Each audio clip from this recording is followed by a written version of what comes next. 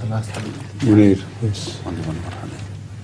The next hadith, حضور إذ أوحى الله إلى عيسى إني قد أخرجت عبادا لي لا يدان لأحد بقت... لا يداني لأحد بقتالهم and uh, Allah has revealed to Jesus Isa I have um, أخرجت عبادا I have sent um, Two people. The ja, uh, People. Yajuj and Majuj, two people.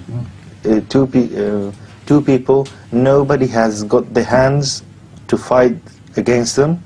Yes. فحرز عبادي إلى الطور and um, You, t- already Wadi, prepare or excite Yeah. people, which means that prepare them and tell them to take shelter by the Tur. yes ويبعث الله ويبعث الله يأجوج ومأجوج and Allah will send Yagog and Magog وهم من كل حدب ينسلون That's right. That's uh, Okay. The point, I, I know this, this very well. The point which I make and stress is this, that by the time Jesus comes, whether according to the old school he descends from heaven, or according to Ahmadis, he is born as a person of the Ummah of Muhammad. And he's entitled to Jesus and entitled Mahdi, and both are the same. This is our viewpoint.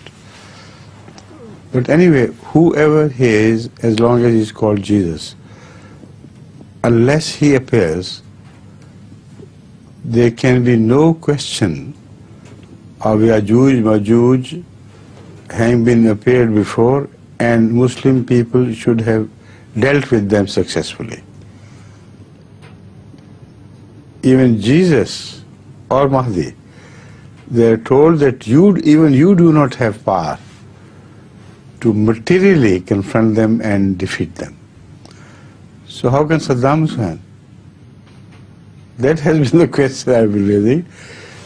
How stupid are such excited people, you know, they raise their banners and hold, you know, make faces, things, and, you know, just go mad out of excitement.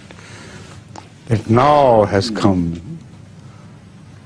Saddam Hussein defeat them and destroy them. And it is so stupid.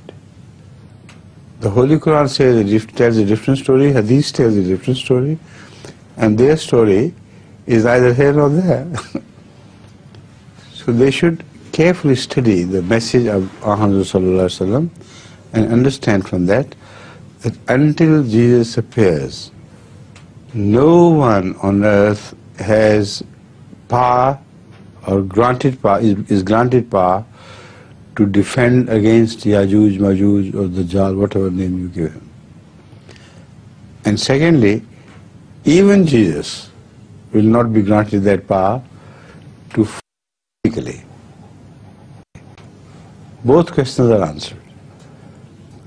Now what is the meaning of Tur? Tur is the place of Tajalli, where Allah revealed Himself. And much greater Tur than that Tur came in the form of Ahadu Sallallahu Alaihi Wasallam. The Holy Quran says, Law anzalna a'udhu billahi minash shaitanir rajim. لو أنزلنا هذا القرآن على جبل لرأيته خاشعا متصدعا من خشية الله وتلك الأمثال نضربها للناس لعلهم يتفكرون Why don't they become of those people who يتفكرون On Tur, that tajalli of Allah was revealed and it was shattered into pieces. And Moses swooned and fell unconscious. But the Holy Quran says, this is the Quran which is revealed to you, O Prophet Muhammad. this Quran could not shatter you. Still intact. And uh, you carry the weight of this tajalli while Moses could not. The Tur indicates that. The whole story of what happened there is uh, recollected. And that shows that seek shelter in the Quranic teaching. By Tur, I'm very sure it does not apply to any mountain anywhere in the world. Because no mountain can give shelter against Dajjal and its bombardment and nuclear holocaust and this and that. It's just too naive to think that there would be a mountain which will provide shelter to Muslims at such time and Jews at such time and he'll escape their wrath if they have their wrath on him. So Tur can only mean, in this context, tajalli of God which appeared on Prophet Muhammad as the Holy Quran. So it said, Jahid Behim Jahadan Kabira. You have uh, launch, you should launch a war against them with the Holy Quran. You should seek shelter in the teachings of the Holy Quran. If you do that, then God will see to it that you are successful. It may take time, indeed, because the Quran, when it was revealed previously, it did not give fatah to the Muslims, provide fatah to the Muslims immediately as it was revealed. For the first 1300, 13 years, Anazul remained a target of persecution. So people should not be too hasty to draw conclusions from these traditions. They only give you the right path. They only tell you what to do. And in this case, this hadith means that the Messiah and his followers, they should seek shelter in the Quranic teaching, where the Quran prevents them from taking uh, the physical means to fight the enemy. They should remain aloof.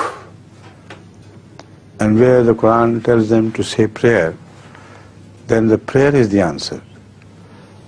So this is the the real application of this hadith in totality, which I believe is true, and who doesn't agree with me, let him fight out. Let him take the sword in his hand and and, and destroy America. Please. I have drawn this inference that uh, Tajalli in this case was the Quran. And uh, was the heart of Hazrat Muhammad. Now, I am not doing it from my, my own self. I am drawing this conclusion based exactly on the Holy Quran, which says, انا عرضنا الامانه الامانه السماوات والارض والجبال فابين ان يحملنها فحملها الانسان واشفقنا منها. واشفقنا منها فحملها الانسان who is all insan?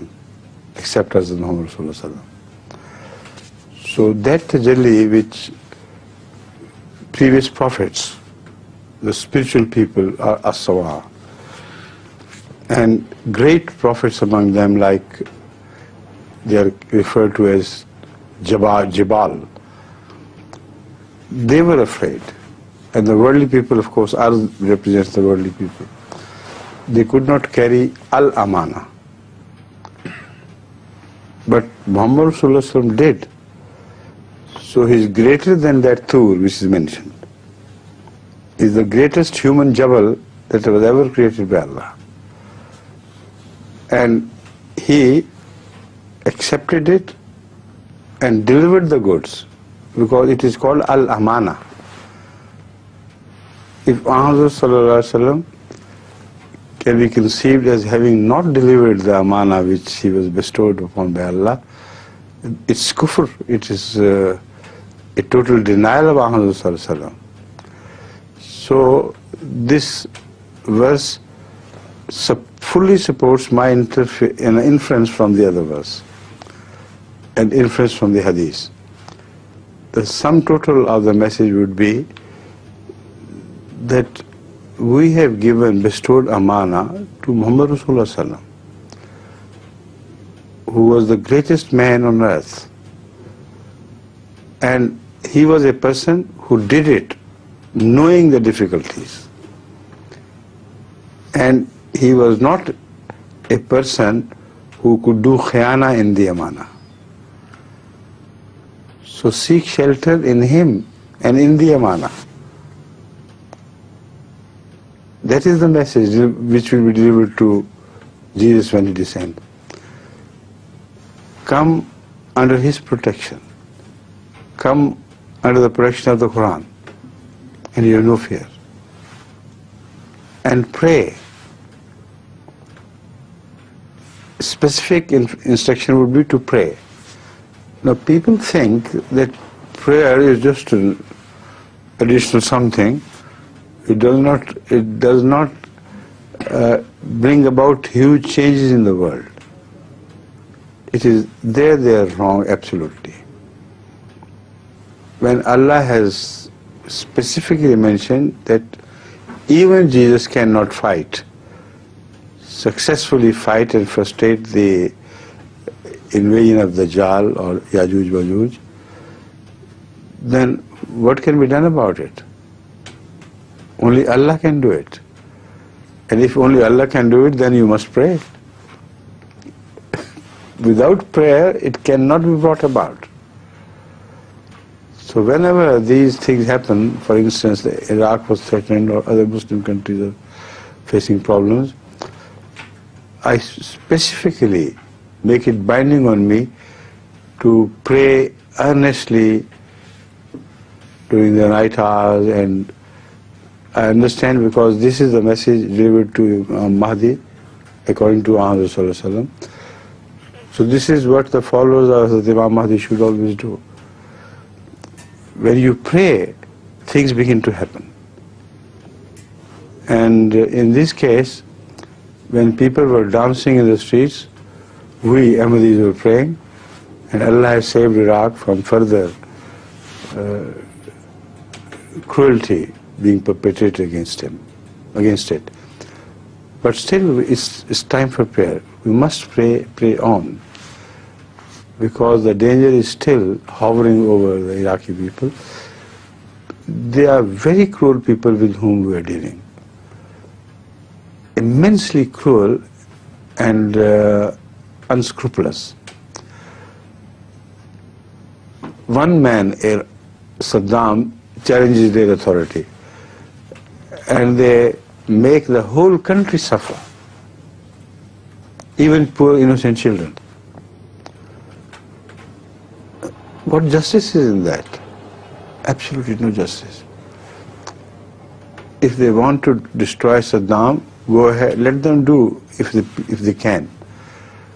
But if they can't, they have no right to make the people, poor innocent people of Iraq suffer for whatever they call the folly of Saddam Hussein. This is not true. This is not honest. If the, some European countries and Russia and China disagree with Clinton's policies, and they do, if they had power, did they have right to make all Americans suffer for that? This is what the big people, proud people should try to understand. So I hope things will improve and things will become better. But if they really suffer for the people of Iraq, they should pray. That is my message.